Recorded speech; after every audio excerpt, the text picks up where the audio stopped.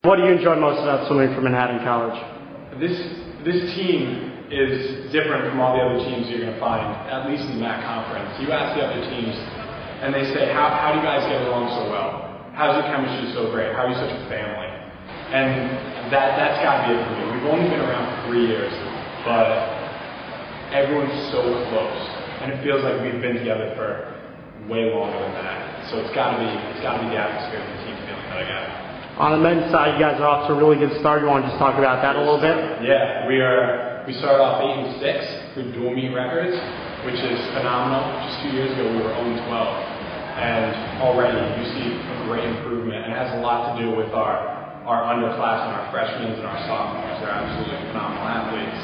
And uh, yeah, so we're looking to finish the season above 500. And we also have an invitational next week, this weekend, the ECAC Invitational. We're hoping to uh, break some school records there. Yeah, as a captain, just talk about what it means to be able to swim for Manhattan College.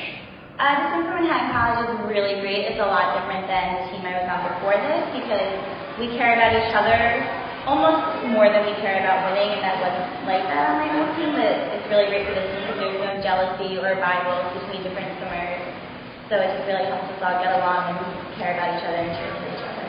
Obviously, you're a veteran. There are a lot of veterans on the team, but also a mix of new players as well. Just talk about your team overall and your start. Um, I think overall we've been doing really well. There's the freshmen come in and they're like a part of the team.